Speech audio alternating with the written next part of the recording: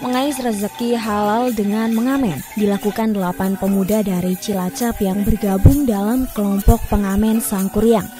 Berbekal alat musik tradisional seperti ketipung, angklung, dan kulintang dari bambu, mereka keliling dari satu kampung ke kampung lain menawarkan hiburan murah meriah.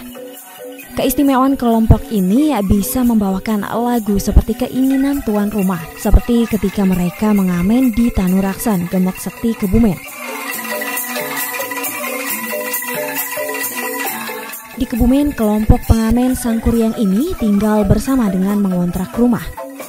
Dengan sepeda motor, mereka menuju lokasi mengamen, kemudian jalan kaki keliling kampung. Dalam sehari penghasilan mereka rata-rata 300 ribu rupiah. Terus dalam sehari bisa dapat berapa mas? Oh itu nggak bisa diperkirakan. Kira-kira berapa? berapa ya? 300. 300. 300. Iya. Uh, kelilingnya ke mana aja mas? Eh, pindah-pindah. Uh, uh, tiap desa, enggak tapi enggak tiap hari.